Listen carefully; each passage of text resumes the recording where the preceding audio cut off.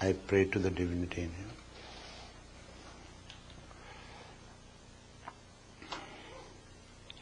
The subject matter for this morning's lecture should be interesting provided you pay attention.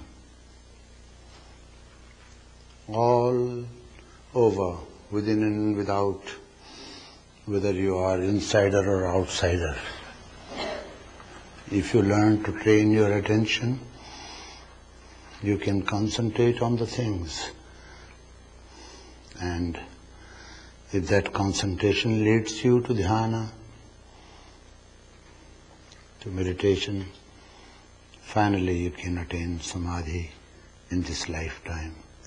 Patanjali has written these sutras not for swamis or renunciates. He has written these sutras for the people of the world, so that you live in the world yet remain unaffected, undisturbed, enjoying peace, happiness and bliss. You See? Otherwise, it only remains a desire. We always ask our teachers, search for that happiness which we can attain ourselves by simple methods, by simple ways in life. Have you decided to do that? That's the point. Have you determined to find peace or happiness or bliss? Or are you searching for someone who will give you happiness, peace and bliss? The scripture says, no one in the world, not in any relationship, you will ever find peace, happiness and bliss. All the relationships go on with life. Life is like a coin which has two sides, life and relationship. But life will be not complete. Therefore, learn to understand that peace and happiness is within you. It's beyond your body, senses, breath, and mind. By having control, by having known to direct your energies within towards the deeper aspects of your being, you can attain that peace. For that, you don't have to retire from the world. For that, you don't have to shun, abstain from your duties, from your relationship. Of course, you will have to discipline yourself. Disciplining means not allowing yourself to be dissipated mentally through your speech and in your thoughts.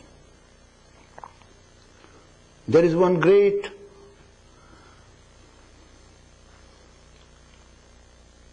something that you get through spirituality and that is called mantra. In all great traditions you will find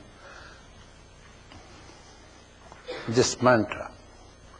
What is that mantra? it is a syllable, a sound, set of words which is prescribed by your teacher who is well, who is competent, who knows you, who can understand you, who in a second can find out your internal states, will prescribe such a formula which is compact, which is more subtler than the sutra. For sutra, you need explanation and you need a teacher. For mantra, once you have it, you do not need any guidance.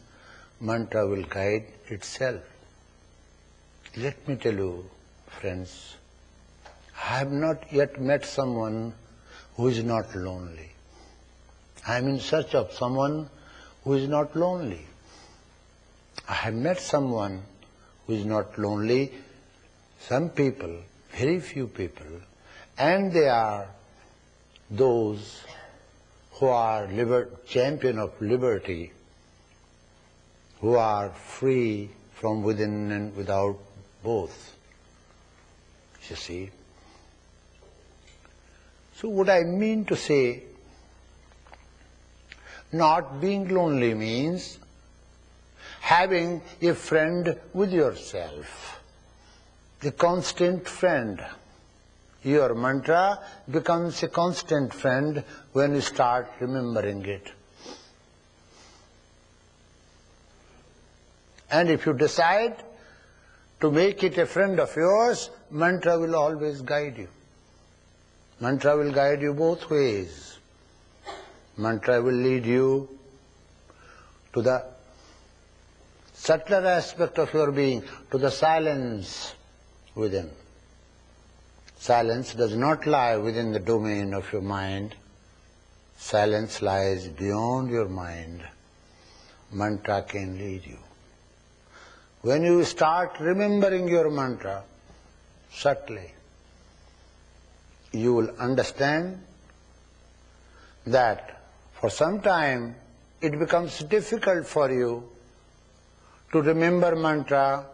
Once you have remembered, in another step you will find you are remembering it technically without feeling anything.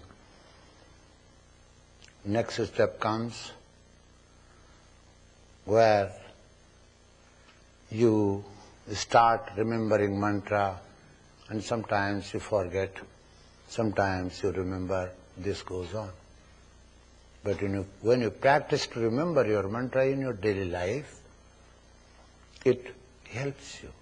The word mantra comes from its root, Sanskrit root, mananat trayate, that which dispels the darkness of ignorance, which removes agony, pain from your mind, that word is with you. Therefore, all the words of all religions, all, all great religions of all great sages are valid. All traditions here meet that some sort of confirmation, some sort of mantra they remember, some sort of chanting they do, somewhere they dance with the mantra, but meaning is one and the same. How to be constantly aware of that mantra. Guru Nanak beautifully said, he experienced that whole world is in pain. He didn't see anyone happy. But he saw people happy, those who remembered mantra Nam. Same thing was repeated by Tulsidasa. It's a very subtle thing I am going to tell you.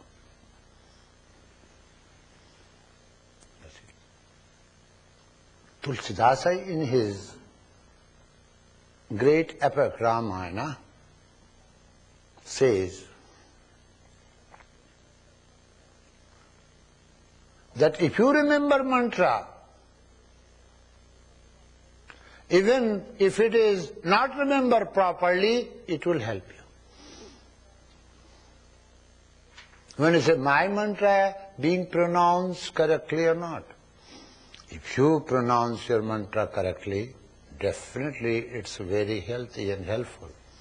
But if you are not pronouncing your mantra properly, even then it helps. Imitating to sit in meditation even helps.